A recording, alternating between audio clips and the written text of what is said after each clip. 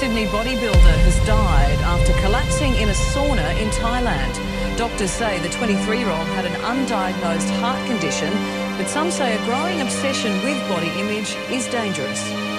Aziz Shavershian was a young bodybuilder not afraid to show off his strength. His brother Syed posted, RIP brother, I love you so much.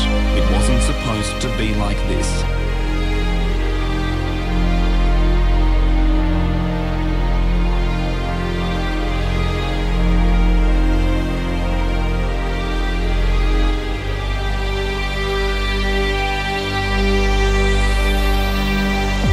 Been 11 long years, my brother.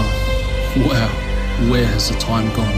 It feels like it was only just yesterday when we were conquering the streets of Sydney, conquering the festivals and the nightclubs, side by side, brother and brother. I miss you every day, and God knows it hasn't gotten easier. But I've used the pain as strength. I've used the pain to help me succeed, to help me ascend, and to help me become stronger Is. Now watch me as I mock these mere mortals, as I rise up and I become the master of my destiny. All in your honor, all for you, and all in your name. I miss you Zyzz, and I won't stop until I mock them all and show them just how powerful, just how mighty an underdog can be.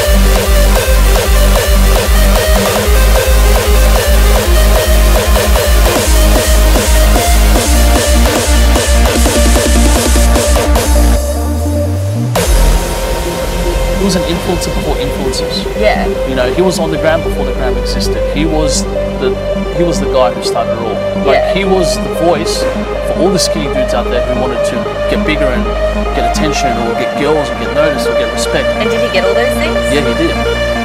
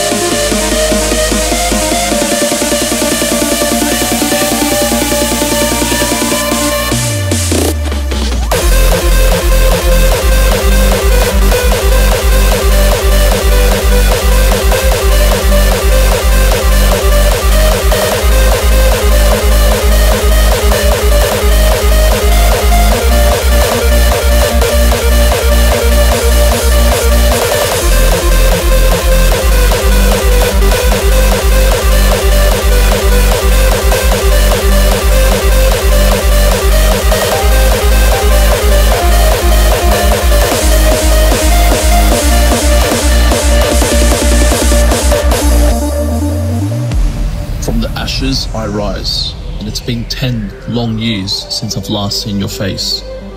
But by the forces of the Pakistani Sikh cunts, I will mog them all in the name of Zyzz and Chestbrah. And Chestbrah, Zyzz Chestbrah, Zyzz.